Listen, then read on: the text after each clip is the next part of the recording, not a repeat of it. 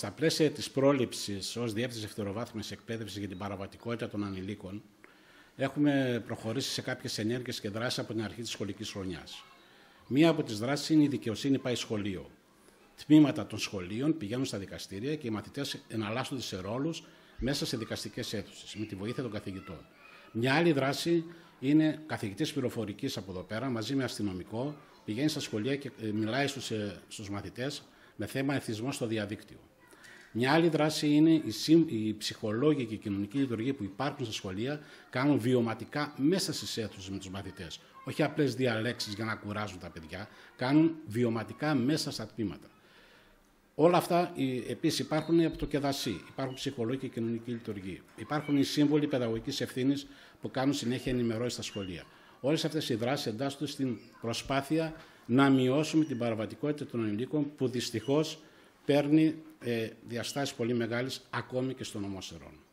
Είχαμε περιστατικά ε, σημαντικά με βία και παραβατικότητα στα σχολεία; Προς το παρόν έχουμε μικρά περιστατικά, εκτός από αυτό το τελευταίο που έγινε με, με την Ιγρήτα, όπου ήταν ένα πολύ μεγάλο περιστατικό και δύσκολο.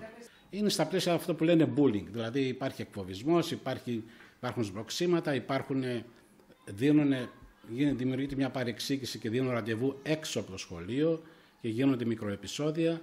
Έχουμε πολύ καλή συνεργασία με την εισαγγελία και με την αστυνομική διεύθυνση Ερών να προλαμβάνουμε καταστάσεις. Επίσης, ένα άλλο πρόγραμμα που ξεκινάμε τώρα, στη συνεργασία με την αστυνομική διεύθυνση, την κυρία Δούμα, που θα πηγαίνουν στο σχολείο για ενημερώσεις σχετικά με την παραβατικότητα των ανηλίκων.